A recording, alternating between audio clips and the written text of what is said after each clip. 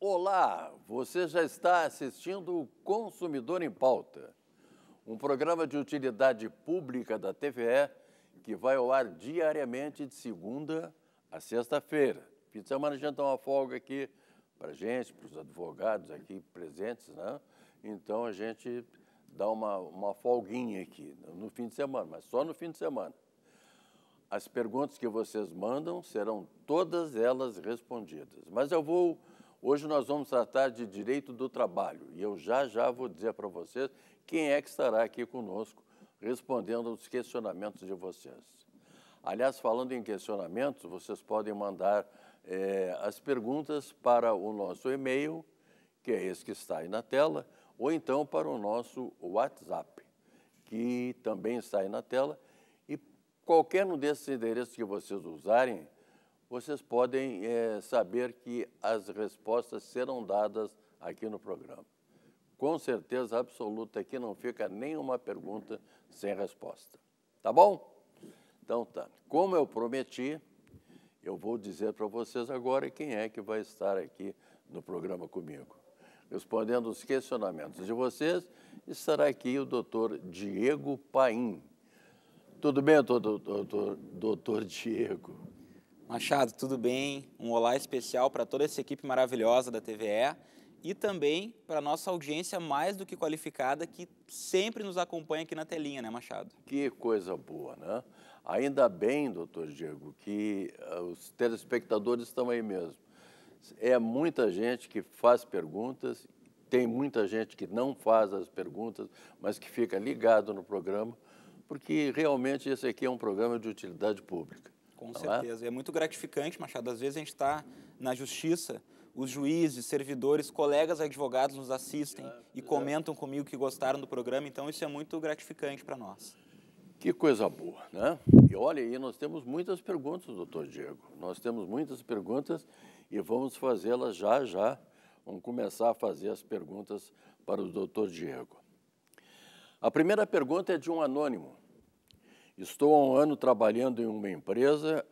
Agora, quando fui pedir meus 30 dias de férias, me disseram que eu não posso, que é a política da empresa dar apenas 20 dias e que compra os outros 10. Eu não quero isso. Eles podem me obrigar a vender 10 dias? Pergunta o anônimo. Vamos lá então. Senhor anônimo, a empresa pode obrigar o funcionário a vender 10 dias de férias? A resposta é não, com certeza não. E eu vou te dizer, anota aí, artigo 143 da CLT. Tá? Bota ali na internet, copia e manda pelo WhatsApp para o seu empregador para informá-lo que você tem esse direito. Está escrito lá na CLT, Machado. É direito do empregado vender um terço das férias, um terço equivale a 10 dias. Se ele não quiser, a empresa não pode obrigar. Aproveito aqui para lembrar alguns direitos básicos das férias, Machado. O período de gozo é a empresa que define. Tá? Depois de um ano ali de trabalho, o empregado tem direito a 30 dias de férias. Isso se ele não tiver muitas faltas. Né? Uh, a empresa tem que pagar as férias e o adicional de um terço até dois dias antes do gozo de férias e tem que avisar o empregado do período que ele vai gozar as férias, no mínimo 30 dias antes, para que ele possa se programar.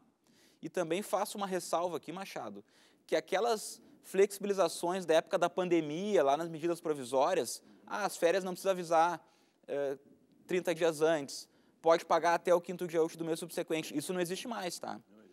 Esses dias um cliente me falou, pô, a empresa me avisou de um dia para o outro as férias e falou que só vai me pagar no mês seguinte. Falei, não, não pode mais. Se a empresa está aplicando ainda as MPs da pandemia, ela está errada, não pode mais. Então, está valendo a regra geral da CLT. E neste caso, senhor Anônimo, não pode obrigar a vender as férias. Vende se quiser, se não quiser, não vende. Só lembrando, Machado, o último requisito aqui que eu lembrei. Para requisitar a, a venda das férias, tem que observar só o prazo que a CLT prevê ali, até 15 dias antes de completar o período aquisitivo. Então, presta atenção deu 11 meses e 14 dias, tem que solicitar as férias, a, a venda das férias. Se passar esse período, aí a empresa, é a única exceção ali que a empresa pode não mais aceitar a compra das férias. Tá certo. Que bom, né? A gente. eh, Esse negócio das férias é sempre complicado, né? As pessoas ficam achando que tem direito, que eh, termina hoje um ano e amanhã já começa o, o período das férias. Ah, é o período aquisicional, está pensando em aquisição de férias, coisa parecida. Eu tenho a pergunta do Antônio aqui, ó. Meu chefe vem exigindo que os funcionários façam horas extras no mínimo três vezes por semana. Não tenho como fazer, pois estou estudando logo após o trabalho. Posso me recusar a fazer essas horas extras? Pergunta o Antônio. Antônio, poder se recusar pode, né? A gente tem que analisar daí se vai ter alguma consequência ou não. Vamos lá, regra geral, é o limite legal de horas extras, tá? A realização de horas extras, Machado, olha que interessante, é um descumprimento da regra geral. Esse descumprimento, ele tem que estar previsto em algum lugar. Então, vamos lá. Quando é que a empresa pode exigir hora extra do funcionário? Basicamente, três hipóteses. Quando está previsto no contrato individual de trabalho, ou em algum acordo individual ou até coletivo de trabalho, até na norma coletiva do sindicato, ou as hipóteses do artigo 61 da CLT, que é motivo de força maior, como ve- vemos no caso da pandemia, serviços inadiáveis da empresa, ou se a não realização de hora extra naquele dia vai causar um prejuízo, um perigo manifesto para a empresa. Então, nessas três hipóteses aí, a empresa pode exigir a prestação de hora extra, até duas horas extras por dia, conforme prevê a CLT. Se for menor de idade, Machado, aí também tem uma exceção. O artigo 427 da CLT prevê que o menor de idade, se tiver que ir para a escola, a empresa não pode exigir hora extra. Tá? Ah, não, menor não, não menor não tem. tem. Tá. Tá. Ah, outra situação. Bom, se não está nenhuma daquelas hipóteses ali, não tem previsão no contrato de trabalho, contrato coletivo, acordo coletivo, né? ou força maior, artigo 61, aí a empresa não pode exigir, se não tiverem presentes algum desses, dessas hipóteses. Mas a gente vê normalmente, Machado, tem previsão no contrato de trabalho, que é normal ter, da empresa poder exigir hora extra, mas a pessoa faz faculdade de noite e isso está causando prejuízo. Bom, aí eu vou lhe aconselhar, Antônio, que o senhor converse com o seu empregador, mostre lá, olha, eu tenho aula tais dias, se eu puder não fazer hora, hora extra nesses dias para mim, me facilita, não vou ter prejuízo na, na, na minha faculdade. E aí isso normalmente é negociável. Se não for negociável, eu já vi, Machado, julgados dando direito para o trabalhador de não fazer hora extra. Mas aí tem que analisar o caso a caso. Óbvio, a pessoa tem que ir para a faculdade e não pode ter prejuízo. Mas, de outro lado, também tem uma empresa que tem a sua função social, que tem a sua obrigação com os, os outros empregados, que tem a obrigação com clientes. Então, por isso que não é fácil. Né? O litígio trabalhista ele nunca é fácil. E tem que analisar o caso concreto. Então, depende do caso concreto, Antônio, para te dizer, fugindo da regra, né, se vai ter direito ou não. Como se diz lá em São Gabriel, não é, doutor Diego? É, nada, nada é fácil se não houver uma boa conversa antes. Tendo uma boa conversa com seu patrão, com seu chefe lá, quem sabe vai resolver tudo, né? Normalmente é o caminho inicial e normalmente é a melhor forma de resolver. A pergunta agora é do Frederico. Fui demitido e até agora a empresa não pediu a minha carteira de trabalho para dar baixa. Por curiosidade, olhei a minha carteira digital e vi que ali está a baixa. Eles não teriam que fazer isso também na carteira física? Pergunta o Frederico. Frederico, não precisa, tá? A carteira física de papel, com o passar do tempo, acredito muito que ela vai cair em desuso, Machado. Né? Como basicamente tudo que é em papel, com o tempo, hoje em dia vivemos num mundo digital, né? É verdade. A própria informação que o empre- empregador eh, remete ali para o governo, da folha de salário, do número de funcionários, é tudo pelo e-social. O e-social foi implementado aí desde 2014, vem sendo implementado e agora já está praticamente 100% em uso. E a carteira de trabalho, idem. Desde 2019, tivemos a lei da liberdade econômica que veio e disse, olha, a partir de agora vale tanto a carteira digital quanto a carteira física. Então, Frederico, se a empresa deu baixa na carteira digital, está tudo certo, está valendo. Ela não precisa mais registrar nos dois documentos. Vale um ou vale outro. E como eu disse, acredito muito que em seguida, Machado, a carteirinha em papel ali, aquela tradicional azulzinha, vai cair em desuso. Vai ser só a carteira digital daqui a alguns anos. Como tudo, não é, doutor Diego? É, a, o que for de papel, o que for vai, que precisa escrever, coisa parecida, vai tudo caindo por água abaixo, né? É verdade.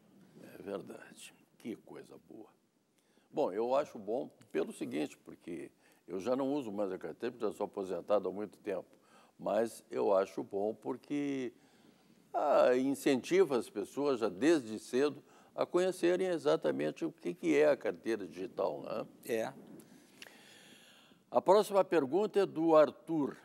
Sou, sou integrante da CIPA e, por lei, tenho estabilidade temporária, não é mesmo? A minha pergunta é: meu patrão pode me demitir a meu pedido por acordo mútuo? Pode ou não pode, doutor? Em princípio, sim, Arthur. Só para ambientar o pessoal de casa, CIPA, Comissão Interna de Prevenção de Acidentes. O que, que é isso? É um grupo de trabalhadores que são eleitos para fiscalizar, para aplicar as normas trabalhistas dentro da empresa a fim de prevenir acidentes. E a lei prevê para os cipeiros, né, pessoal da CIPA, uma estabilidade que vai desde o registro da candidatura até um ano após o término do mandato. Por que essa estabilidade? Justamente para evitar que eles sofram represálias da empresa, já que eles são, digamos assim, a voz do sindicato ali dentro, né? Eles são é quem está brigando pelos direitos dos trabalhadores, focando na prevenção de acidentes. Então a lei prevê essa estabilidade. Agora, o acordo mútuo, que foi uma novidade da reforma trabalhista, está lá no artigo 484A da CLT, é quando a empresa e o empregado decidem rescindir o contrato. É, um, é uma mistura da dispensa sem justa causa com pedido de demissão. Nessa hipótese, Arthur, eu entendo que você está abrindo mão da sua estabilidade como cipeiro para fazer a rescisão do seu contrato.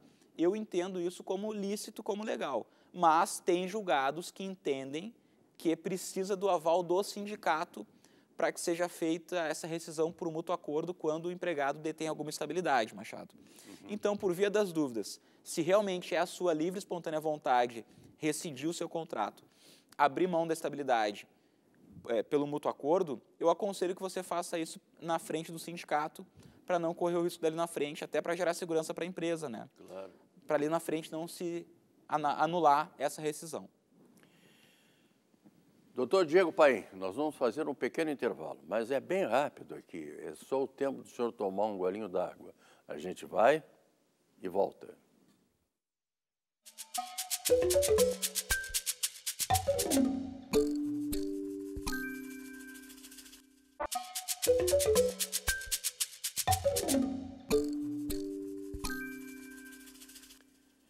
Estamos de volta, o programa é o Consumidor em Pauta e eu hoje estou tratando de direito do trabalho. Estou conversando aqui com muito prazer com o doutor Diego Paim, que está respondendo às perguntas que vocês nos mandam é, sobre as dúvidas que vocês têm a respeito do direito do trabalho. Falando em perguntas, eu, vocês podem mandar as mesmas, as perguntas, todas elas podem mandar para o nosso WhatsApp ou então para o nosso e-mail qualquer um desses endereços, vocês terão as perguntas respondidas. E aqui a gente não deixa passar nenhuma pergunta, todas elas serão respondidas é, integralmente. Tá bom, gente? Então vamos lá. Doutor Diego, o Pedro quer saber o seguinte: Meu, meus empregadores estão promovendo um plano de demissão voluntária na empresa.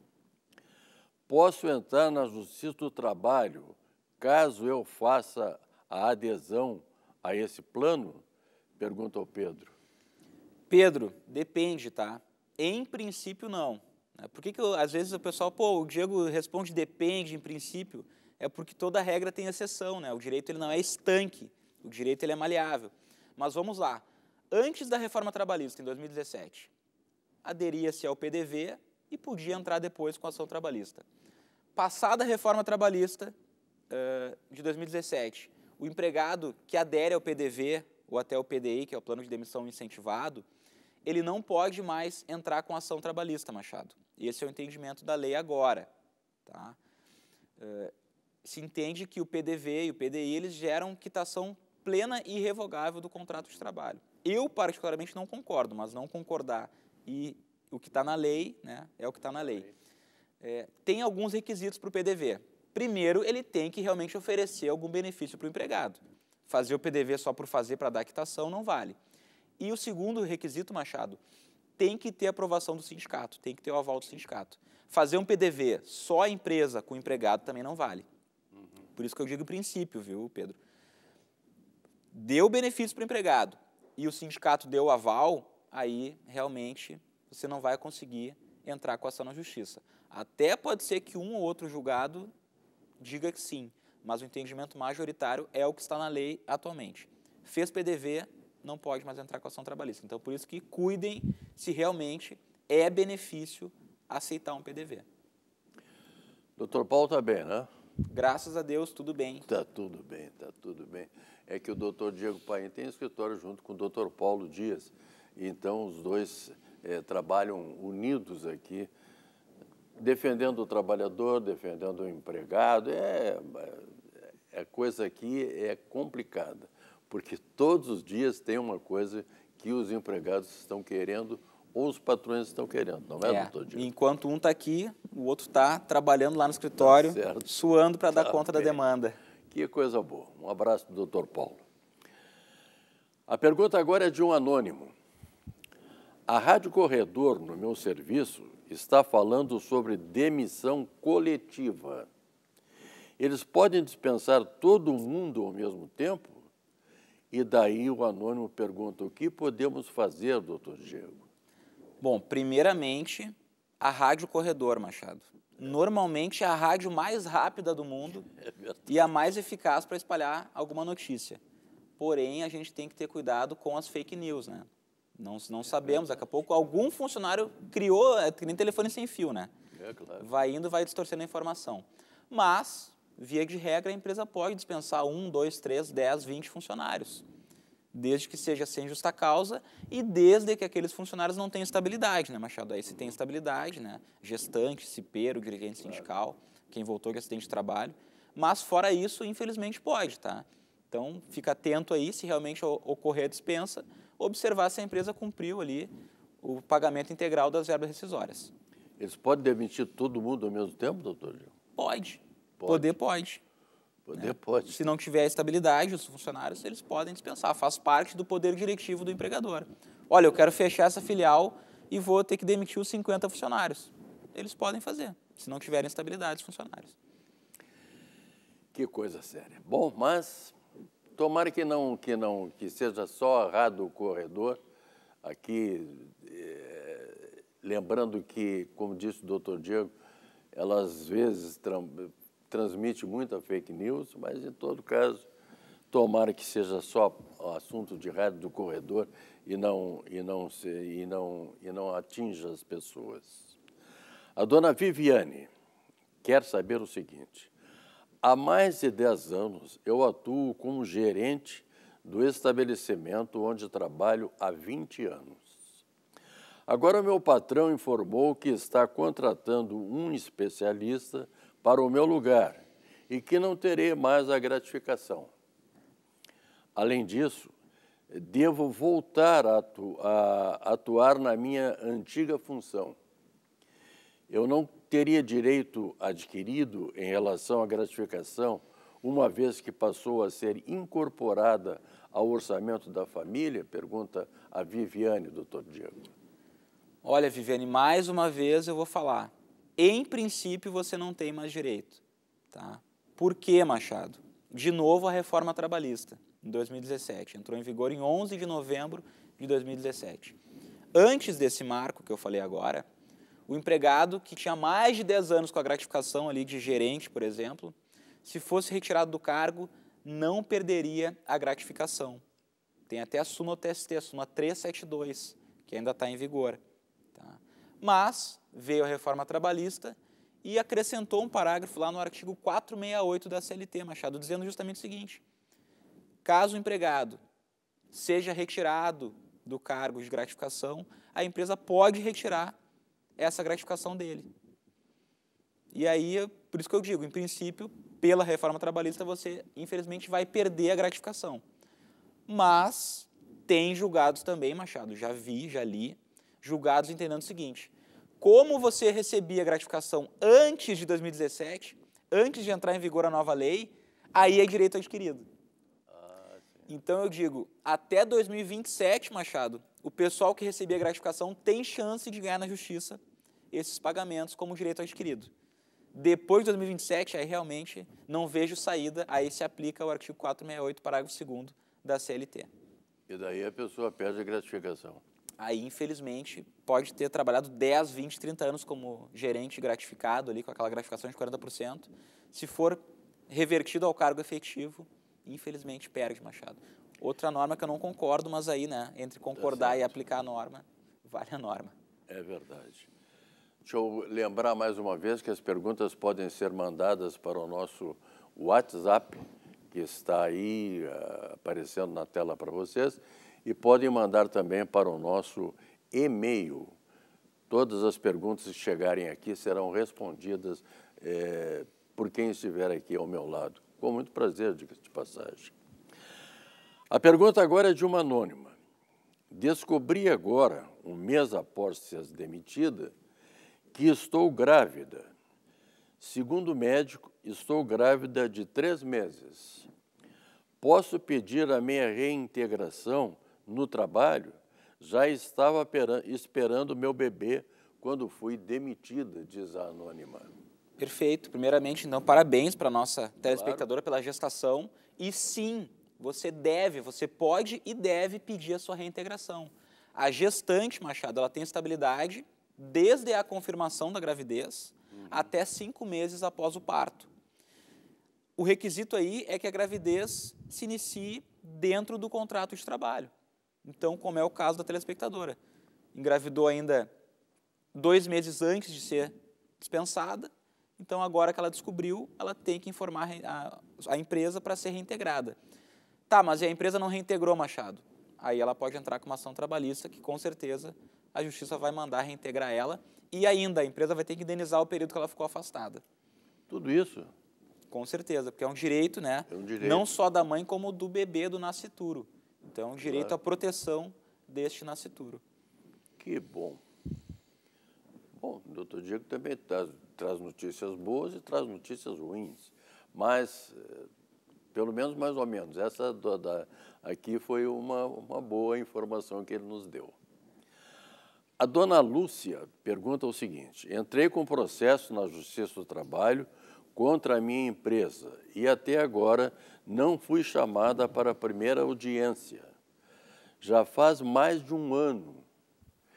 Ela quer saber, doutor Diego, por que demora tanto? Do jeito que vai, só os meus herdeiros é que vão receber o que tenho direito. E ela diz assim: isso não é justo. E daí, doutor Diego? É verdade, dona Lúcia. E essa é uma preocupação de muitos trabalhadores que entram com a ação trabalhista. Mas, Machado, eu vou acalentar aqui a, a angústia da dona Lúcia, dizendo o seguinte: o que o trabalhador enxerga, Machado, eu acho que é 1% do processo. 1%. É 1%. Eles não imaginam a trabalheira que dá. O processo é tipo um jogo de xadrez, Machado. O advogado tem que pensar cada movimento e depois de cada movimento o juiz vai dar para outra parte o tempo para ele se movimentar também. Então, o trabalhador faz um movimento, a empresa faz outro. O trabalhador faz outro, a empresa faz outro. E assim subsequente. Tem centenas de movimentações processuais no processo do trabalho. E muitas vezes o cliente ele vai no, no escritório, o advogado entra com o processo, e aí o juiz, desde a pandemia, eles têm dispensado aquela audiência inicial muitas vezes, e aí o cliente só vai ver de novo o processo lá na audiência para ouvir testemunha. Só que nesse meio tempo o processo já andou 80% talvez na fase de conhecimento ali. Já teve a defesa, já teve a réplica, que a gente chama de manifestação a, a documentos de defesa, perícia e depois tem a audiência. Então, do, eh, dona Lúcia, daqui a pouco o seu processo ele já está até finalizando. Só está faltando a marcação da audiência. E aí depois tem a sentença e as fases recursais e depois o cálculo. O processo ele naturalmente demora, mas converse com o seu advogado, porque daqui a pouco o seu processo está uh, já pautado para audiência e já está mais próximo de terminado do que a senhora imagina. Né? Vamos torcer aí que não fique para os seus herdeiros. Mas dê uma conversada com o seu advogado, porque, claro, não dá para informar também cada etapa do processo, porque são centenas de movimentações. Mas verifique exatamente em que pé que está para a senhora é, ficar menos angustiada. Doutor Diego Paim, chegamos ao final de mais um Consumidor em Pauta. Lembrando a vocês que amanhã eu estarei aqui, nesse mesmo horário, tratando de mais um Consumidor em Pauta. A todos vocês, muito obrigado e até lá.